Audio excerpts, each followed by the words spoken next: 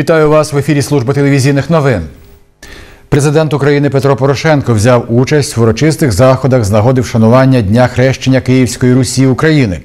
Про це повідомила його прес-служба. Головні заходи пройшли на Володимирській гірці. Біля пам'ятника Володимиру Хрестителю віряни провели молебень. Аби не допустити провокації, на гірці встановили два десятки рамок металошукачів та перевіряли особисті речі учасників. На вулицях столиці чергували понад 4 тисячі правоохоронців.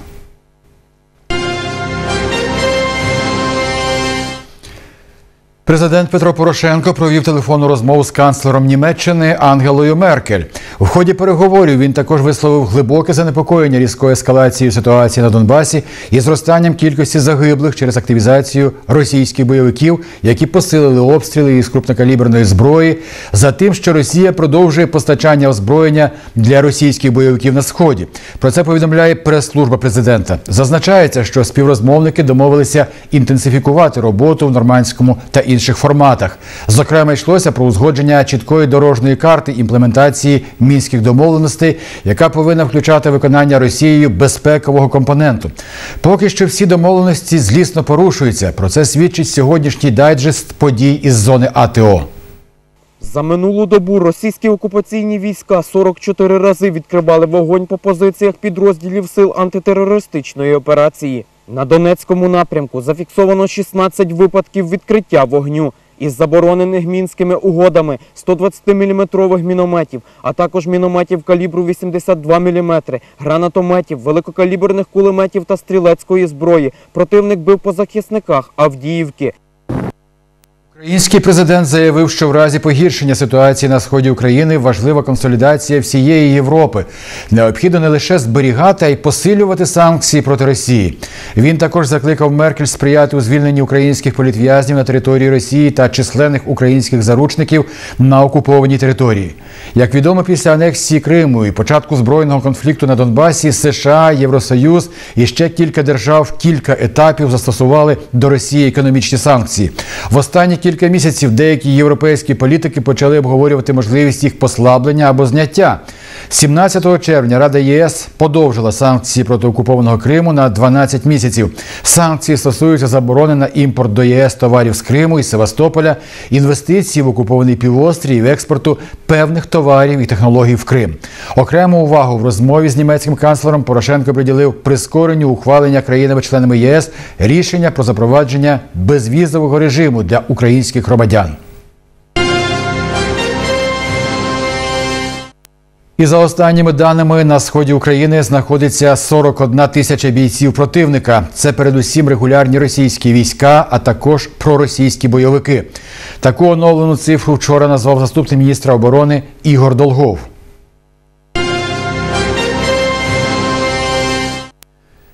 Маленький одесит попередив пожежу в Росії. За це четвертокласник одеської гімназії Алі Арчаков отримав грамоту подяку від адміністрації російського містечка Маглобек, де й трапилася пригода. Як повідомила адміністрація цього містечка, хлопчик приїхав туди на літні канікули відпочити і провідати дідуся. Граючись з дітьми на вулиці, Алі помітив дим і вогонь біля сусідського сараю і забив на сполох. Дорослі, які прийшли на його заклик про небезпеку, вчасно ліквідували займання. Завдяки хоробрості малого, пишуть в адміністрації, вогонь не перекинувся на житлові будинки. Катастрофу вдалося попередити. Не витримав трос. В Одесі на одному з будівельних майданчиків бетонна плита впала на вагон, в якому знаходилися люди. Внаслідок чого постраждав один будівельник. За інформацією поліції, ним виявився чоловік 92-го року народження. З-під завалів постраждалого витягли співробітники. Вони викликали швидку. За неперевіреною інформацією, загрози життю будівельника немає. Чоловік отримав політравми. Зокрема, в нього переломані ноги. Про надзвичайну ситуацію на будівельному майданчику поліцейські дізналися від медиків. Зараз оперативники знаходяться там і вивчають дану справу. На место происшествия, на, на стройку, на Лесдорская дорога 55 дробь 1 выехала следственно-оперативная группа. Они там осматривают территорию. Э, и все подробности будут известны позже, там как квалификация и все тому подобное. У нас произошло небольшое чрезвычайное происшествие. Э, Человек э, получил травмы, не угрожающие его жизни. Ему оказана вся необходимая медицинская помощь. Э, Мы проводим внутреннее расследование данной ситуации. Все пішло не за планом. Замість 80 кілометрів траси Одеса Рені відремонтують лише 56. Грошей катастрофічно не вистачає. Однак ремонтні роботи проводять цілодобово. Економлять як можуть. Щоб перевірити якість ремонту, наша знімальна група поїхала на інспекцію до однієї з ділянок. Траса Одеса Рені відремонтована всього 17 кілометрів дороги. Грошей залишилося лише на 39 кілометрів. Роботи розпочато на ділянці є 88. Зараз ремонтують 13 кілометрів. 17 кілометрів – це всього 4 ділянки, які складають одну 17-ту частину всієї траси. Вони вже готові на 95%. Повністю їх відремонтують до серпня. До тих 39 кілометрів, які залишилося відремонтувати, приступлять вже 31 серпня. Таким чином у сумі вийде 56 кілометрів новенької траси. На більше грошей нема. В даний момент є величезна діра через недофінансування за рахунок надходжень від одеської митниці, яка у підсумку відмовилася давати на ремонт гроші. План обчислення на митниці занадто великий, тому на дорогу грошей просто не вистачає. Всего таможня должна была дать э, 500 э, с небольшим миллионов э, гривен. На текущий момент дала всего 92. Зараз служба автодоріг шукає альтернативне фінансування. Найближчим часом гроші надійдуть з фонду регіонального розвитку. Це 134 мільйона гривень, а також з кредиту від Укравтодор 332 мільйони. Чи підуть всі ці гроші саме на ремонт? Стовідсоткових гарантій поки нема. Вы знаете, гарантии дает только э, Господь Бог, а наша задача областного совета, службы автомобильных дорог, специалистов проверить правильное расходование этих средств, которые выделяет областной бюджет, центральный бюджет э, на эту трассу. При цьому прем'єр-міністр України Володимир Гройсман запевняв, що вже цієї осені на трасі будуть проходити ретельні перевірки незалежних аудиторів. Вони слідкуватимуть за якістю роботи та за тим, куди і яким чином розподіляються гроші. Кожен бажаючий зможе ознайомитися із детальною звітністю на сайті служби автодору. Создана громадская рада, куда входят независимые общественные организации, то есть они выступают контролерами при необходимости. А, Ну и э, я думаю, что мы с областным советом вместе подумаем, кого из независимых аудиторов привлечь для того, чтобы э, проверить все эти процедуры. А поки що ремонтні роботи тривають. Зараз готується майданчик неподалік від селища Монаші на 84-97 кілометрах. Заощаджують як можуть. Для цього використовують технологію холодний ресайклінг. Це коли вже по підготовленій основі йде е, ресайклер, який перемішує, додає у існуючі матеріали нові матеріали, тобто емульсію і цемент. І перемішуючи його, робить дорожній одяг новий. Існуючі матеріали використовуються і додаються нові небагато, то звичайно, що буде дешевше, ніж повністю забрати цей конструктив і вложити повністю нові матеріали. Робочі запевняють, що за допомогою цієї технології асфальт прослужить досить довго. Ще один плюс перекривати рух для автомобілів при цьому підході до ремонту автошляху немає необхідності. Євгенія Швіц, Анастасія Доманська. Факти. У розпал курортного сезону Одеса в розкопках. Їх можна побачити в різних куточках міста. Один з таких на кінцевих зупинках 120 і 190 маршрутів неподалік від Куликового поля. Там продовжують реконструювати італійський бульвар. Робітники дорожньої служби знімають старе асфальтне покриття, замість нього стелять акуратною плиткою. Масштабна реконструкція триває вже кілька днів. Рух дорожнього транспорту там поки що тимчасово обмежено. Такий же спосіб стелять дорогу і на зупинці 10-го тролейбуса поблизу Паладіума. Подяка за співпрацю в обласній нацполіції відбулося урочисте нагородження одеситів, які посприяли правоохоронцям у припиненні різних правопорушень. За активну громадянську позицію та плідну співпрацю листами, подяками та подарунками було нагороджено 12 людей. Кожен з них свого часу допоміг правоохоронцям затримати чимало правопорушників, дехто навіть ціною власного здоров'я. Он сорвал цепочку с шеи у женщины, знал его и задержал. Он меня ударил в области груди, груди в легкое ножом. И после, после его удара я не смог уже себя контролировать и упал на землю. И ждал скорую. Э, Рядом с, рядом с работой проходил Валентин Чернов, мой работодатель, и он был на маш- как раз на машине, и он помог мне, отвез в больницу.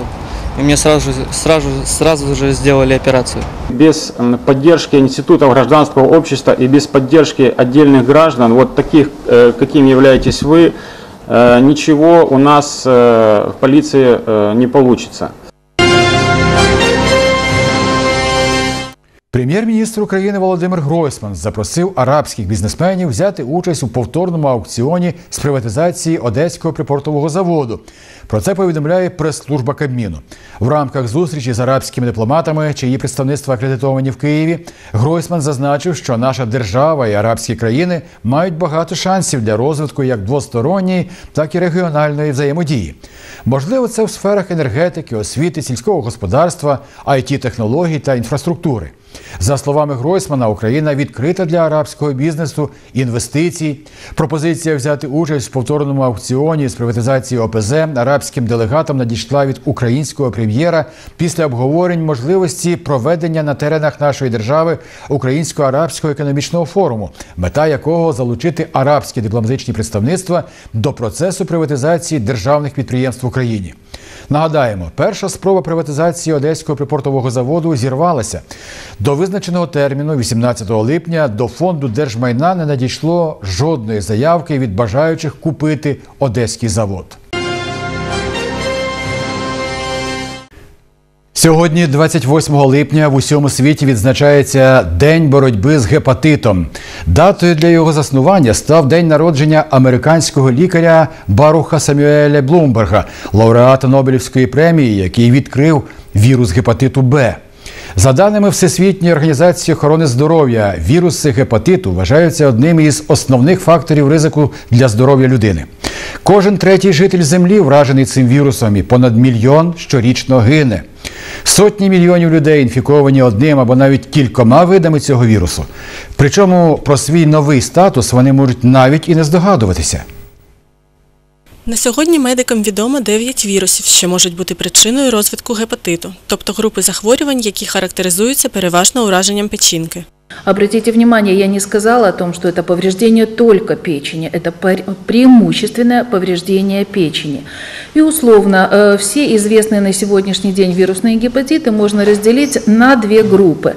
Это гепатиты, которые имеют фекально-оральный механизм передачи, то есть передаются с инфицированными пищевыми продуктами через инфицированную воду, и гепатиты с парентеральным механизмом передачи, то есть гепатиты, которые передаются через кровь, могут передаваться при половом контакте До першої групи відносяться гепатити А і Е, останній на нашій території не поширений, а до другої Б і С. Захиститися від побутових вірусів допоможе дотримання правил гігієни. Від гепатитів, що передаються через кров, обережність при статевих контактах і переливанні крові.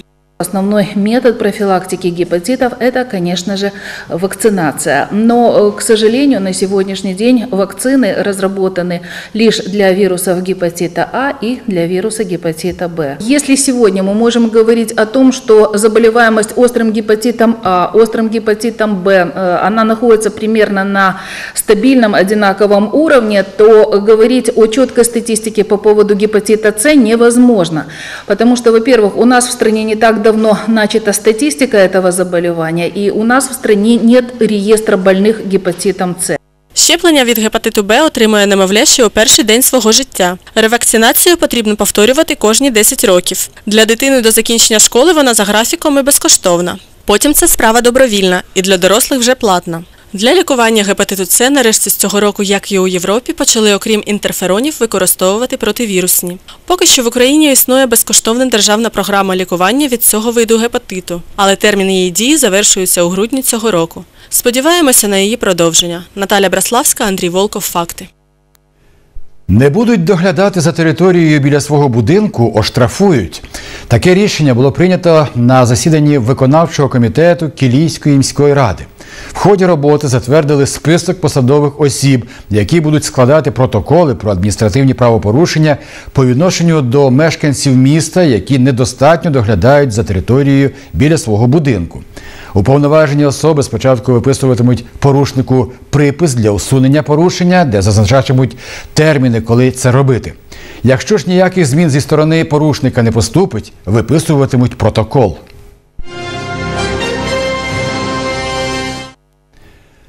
За кілька днів представники організаційного комітету, які займаються проведенням пісенного конкурсу Євробачення 2017, визначать місто, яке прийме цей захід в себе. Нині за це право змагаються три претенденти: Київ, Дніпро та Одеса. Напередодні оголошення результатів переможця до організаторів проведення фестивалю звернувся голова Одеської облдержадміністрації Міхаїл Саакашвілі. Очільник області заявив, що на даному етапі саме Одеса повинна провести Євробачення в наступному році. По-перше, зазначив Саакашвілі, місто за останній рік було дуже розрекламоване майже в усьому світі. Чимало друкованих видань писало про досягнення Одеси. По-друге, це багатонаціональність міста, наявність необхідної інфраструктури також дозволяє йому провести пісенний фестиваль. Я люблю Киев. Я жил, я формировался в Киеве много лет. Я очень уважаю Днепро, и Ди- Днепропетро- Днепро- днепровцев. Я считаю, что абсолютно уникальный город. Но для них будут другие мероприятия, для них будут другие возможности. У Киева Евровидение уже было. Для Днепра будет много других возможностей. Следующий год, 2017 год, Евровидение будет и должно быть и будет проведено в городе Одесса. Кабмін вже знайшов гроші на проведення в Україні Євробачення 2017. Про це повідомив прем'єр-міністр України Володимир Гройсман на одній із своїх сторінок в соцмережі. Євробаченню в Україні однозначно бути. Ми вже оперативно забезпечили фінансові гарантії для підготовки і проведення цього пісенного конкурсу, написав Гройсман у Твіттер. Нова зоологічна знахідка на одеському пляжі. На курорті Затока знайшли гігантського пітона. Цей двометровий, безхребетний, плив вздовж берега. Там його й помітив один із відпочивальників.